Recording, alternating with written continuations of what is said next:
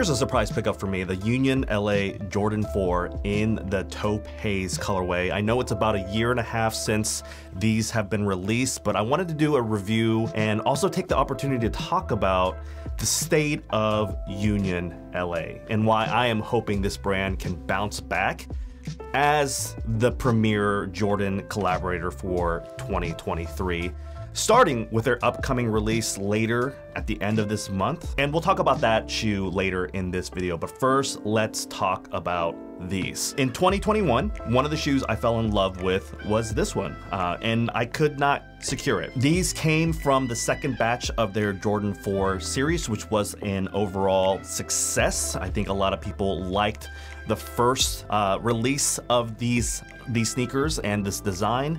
And this haze is similar to the Guava Ice in that it was the Union LA exclusive colorway. So this one, between this one and the Desert Moss, this one was harder to get. Now, if you go back on my channel in 2020, the Off Noir Jordan 4 Union LA collaboration was my sneaker of the year. I absolutely love the design. I love the color blocking that Union LA is known for. The materials, the construction, the marketing for the release. There was just a lot of hype and you know, a lot of people wanted these shoes and I was lucky enough to get that pair. Before the release, I think these shoes were going for over a thousand dollars. There was a lot of hype, there was a lot of resellers, there was a lot of people who just wanted this shoe uh, because it was just you know, one of the most important drops for that year. And unfortunately, the overwhelming attention created, I think, a really difficult problem for Union LA, considering these were a limited shoe. There weren't a lot made, and eventually it led to, I think, a really disappointing decision by Union LA to make these a raffle release. Long story short, I took an L and I couldn't get these in 2021. Fast forward 18 or so months, we've seen the market dip significantly, and now these sneakers have dropped from $800, $900 to now around 400 to 500 and I was able to pick them up for even less than that 400 mark. And so knowing where they were and how much I wanted them before, it was a really a no-brainer for me to pick these up. I had an opportunity to pick these up for a really great price. And so I'm glad that I now have them in hand.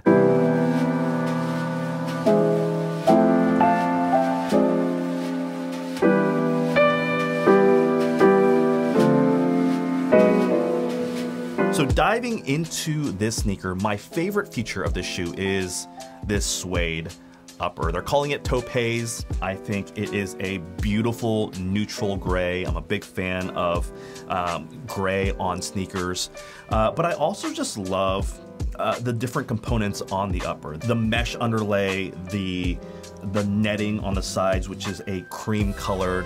It's really, really beautiful, and I just love the combination of materials that they chose on this shoe.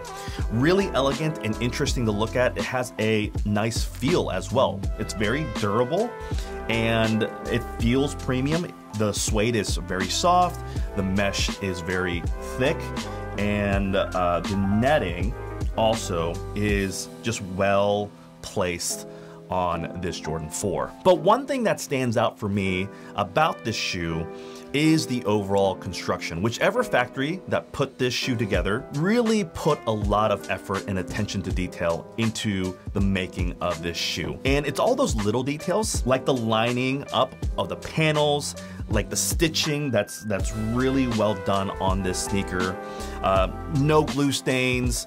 It's, it's rare to find a mass-produced sneaker kind of in this really nice state.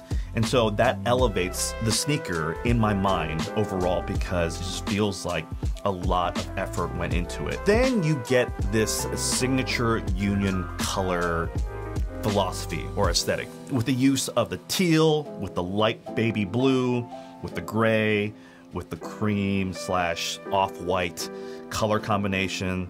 Uh, I, I really do love the playful, almost like, you know, twist that Union LA has on most of their collaborations. For example, look at the wings. I just love the fact that it is this clear, translucent wing on the upper portion of the sneaker, but then you you get this light green um, on the bottom.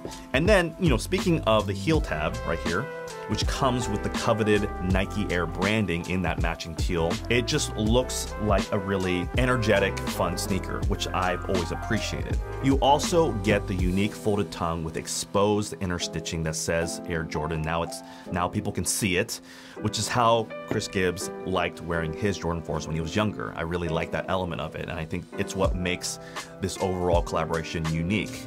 Inside the shoe, you get baby blue sock liner, a golden polyurethane insole, patterned laces in both gray and blue, which is a nice touch.